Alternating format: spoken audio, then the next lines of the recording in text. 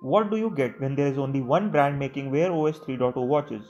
You get Samsung Galaxy Watch 5, a watch that is just an incremental update over the previous generation watch. I know, I know, Montblanc smartwatch is powered by Wear OS 3.0, but it costs $1000. As a result, here we are with Samsung Galaxy Watch 5. If you too are wondering whether or not you should pay twice the price for Watch 5 compared to Watch 4, then this video is for you. Let's start with the build of the watch. This is something that has remained the same and quite frankly should remain. Watch 5 is available in 40mm and 44mm models. And just like the previous year Samsung Galaxy Watch 5 also features a familiar 20mm strap. I personally like the Watch 4 strap compared to the older Watch Active 2 lineup. So I love the fact that Watch 5 has a similar strap. However, not everything is the same as Samsung has also introduced two new color options for Watch 5. Another improvement that Watch 5 has is that it now features sapphire glass instead of Gorilla Glass for display protection. That's why Watch 5 is more scratch resistant than the previous generation Galaxy Watch 4.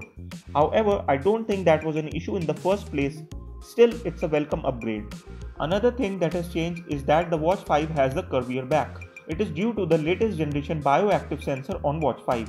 According to Samsung, it will improve the sleep tracking on the Watch 5.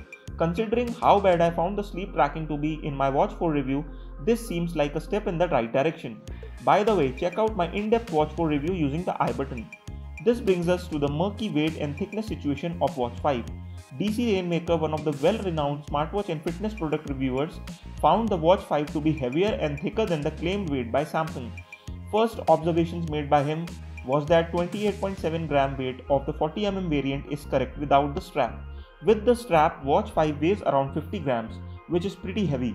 And the 44mm variant, according to Samsung, weighs 33.5 grams, which is again only true without straps. With straps, the watch weight reaches 55 grams, so these are some pretty heavy watches. Also, both the watches are thicker than the claimed thickness by Samsung as well. In terms of dimensions, Watch 5 is thicker and heavier than Watch 4. However, there isn't any difference in terms of looks when it comes to Watch 5 series and in my opinion that is a good thing. Speaking of good things, Samsung has retained the screen found on Samsung Galaxy Watch 4 to Watch 5 as well. Watch 5 features a 1.4 inch Super AMOLED display with a display resolution of 450 by 450. Samsung Galaxy Watch 4 is powered by the same 1.4 inch Super AMOLED display with a display resolution of 450 by 450. Previous Gen Watch 4 also featured a Corning Gorilla Glass DX Plus coating which prevented glare and scratches, and sapphire material on Watch 5 is naturally anti-reflective and scratch resistant. Previous generation Samsung Galaxy Watch 4 came with accelerometer, gyroscope, heart rate, barometer, NFC, and bioimpedance analysis sensor. In this generation, Samsung has added a temperature sensor as well. However, at the time of the launch, temperature sensor is disabled on Watch 5 as it is yet to receive clearance from regulatory bodies. Hopefully this won't be like blood pressure monitor feature as that too despite being available on Watch 4 wasn't available in many locations. Bluetooth has also been updated from 5.0 to 5.2 in Samsung Watch 5. However, navigation support has remained the same on Watch 4 and Watch 5 as well. Like the previous gen Watch 4, this one too comes with built-in microphone and speaker and you can also get the LTE variant of Watch 5. Similarly, performance of Watch 5 is same as Watch 4 as it is powered by the same Exynos W920 processor and both the watches feature 16GB of onboard storage coupled with a 1GB of RAM. Watch 4 is running on Wear OS 3.0 and Watch 5 is running on the Wear OS 3.5 and Wear OS 3.5 update should be coming out for the Watch 4 soon as well. Last time I checked, it was in the final stages of beta testing. So in terms of performance and OS, you won't find any difference between the two. While there are no new features, but there are definitely some improvements in Watch 5. When it comes to sleep tracking, Samsung Watch series is known for its inaccurate sleep tracking, and latest generation BioTracker sensor is curvier to improve the sleep tracking on Watch 5.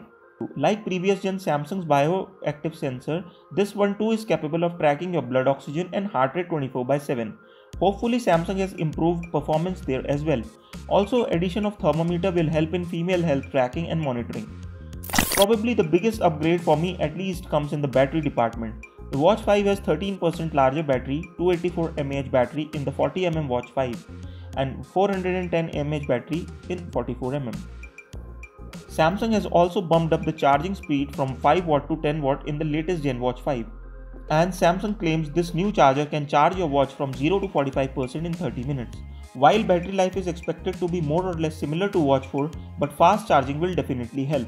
So what are your thoughts on this? Do you think Watch 5 is a worthy successor to Watch 4? Which one are you going to buy? Tell me in the comment box down below. I will be reading and replying to all of your comments and don't forget to subscribe to our channel to get the latest videos on wearable tech.